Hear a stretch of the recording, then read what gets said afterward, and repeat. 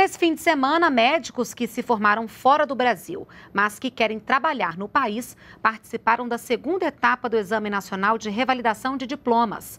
As provas foram aplicadas em Fortaleza, Natal, Brasília, Porto Alegre e Campinas.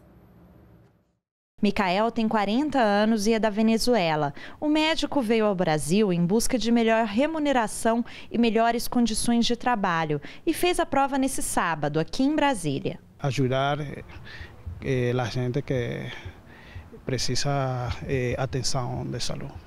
Para atuar como médico no Brasil, o estudante formado no exterior precisa fazer o reconhecimento do diploma e solicitar ao Conselho Regional de Medicina a autorização de trabalho. O Revalida foi criado pelos Ministérios da Educação e da Saúde para simplificar o processo de reconhecimento de diplomas de medicina emitidos por instituições estrangeiras. Nesta segunda etapa dos exames, são avaliadas as habilidades clínicas dos candidatos. Leopoldo tem 23 anos e se formou no ano passado na Bolívia. O futuro oftalmologista que pretende trabalhar no Brasil estava ansioso para fazer a prova do Revalida.